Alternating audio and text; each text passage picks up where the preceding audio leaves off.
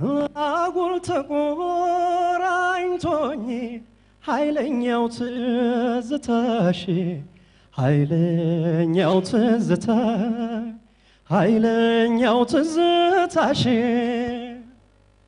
ልረሳሽ አልቻልኩም። በምን ሰበብ ልርሳሽ? በምን ሰበብ ልርሳ? በምን ሰበብ ልርሳ እከደከ ሰይጣን ይሄም ቤላ አስረጀው ኦና እንደከረመ ያቃዠኛል ምነው? እከደከ ሰይጣን ይሄም ቤላ አስረጀው ድንገት ጎሽ እያለ አሟሟኝ እንደጨው ያገኙኝን ሁሉ ስቄ ተቀብዬ እንዲህ ነህም ሲሉኝ ይመስገነው ብዬ አለሁኝ ያልኩኝ ዘመድ ጎረቤቱ። እኔስ አንቺ ጋር ነኝ ቀንና ሌሊቱ። አለሁኝ ያልኩኝ ዘመድ ጎረቤቱ። እኔስ አንቺ ጋር ነኝ ቀንና ሌሊቱ።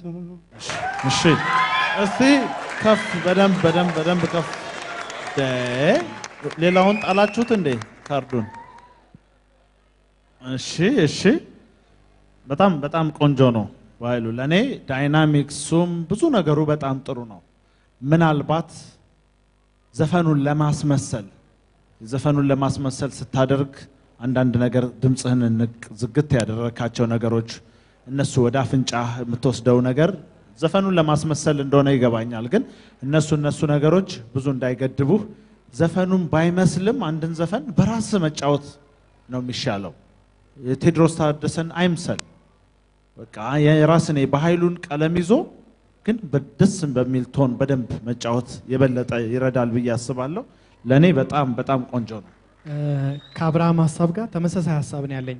እሱ እንዳለ ሆኖ ሌላው የምጨምርልህ ማይኩን እፍን አታርገው። እሱ ራሱ tone ን ያበላሽብሃል።